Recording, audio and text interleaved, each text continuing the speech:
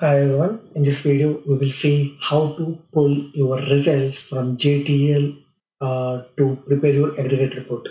How to use a JTL file generated using non-GUI mode. Okay, so in non-GUI mode we have we have executed one one test which is uh, dev uh, JTL, the dev store JTL.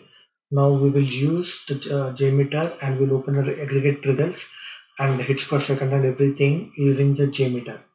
Now, after your test completed, go to the listeners, uh, go to the listeners and open to aggregate report and browse your uh, JTL file. Browse your JTL file. Browse your JTL file. JTL file in here. Okay, so I'm copy pasting the same file again, just to uh, if there's any corruption in your uh, script or something just uh, I mean if there any corruption in your JTL then that will not uh, cost your uh, that will not cost your uh, execution timings. So we got all the JTL information all the execution information. All the request uh, number of requests average response time mean median 95 percentile 90 percentile 99 percentile main max everything. Now if you go to the listeners it's per second. Uh, we don't have it per second here. Um, if you, uh, if you want it per second we can add this per second.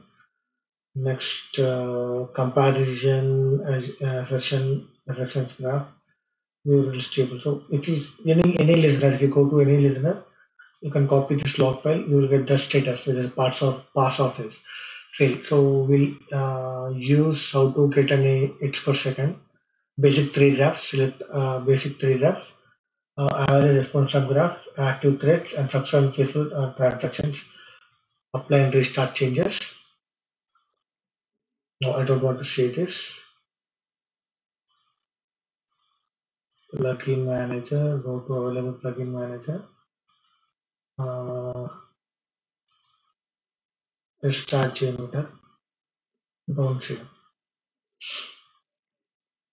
Now we will see a response step graph using our JTL file.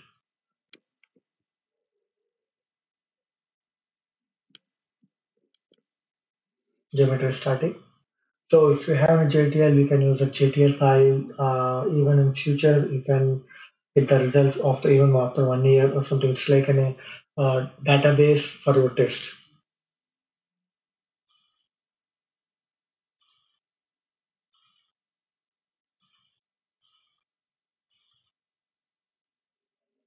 Now go to add a thread group or I'm adding thread group just to add my listener. I'm adding a listener active threads uh, response time over seconds. Now select your uh, uh, select your JTL file where it is.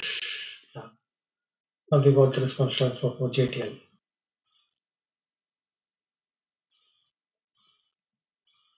So the response time overall uh, throughout my execution, including all transactions, you got the response time if you want to go to specific transaction detailed uh, one one row per sample then you will get each and every you will get each and every transaction details here.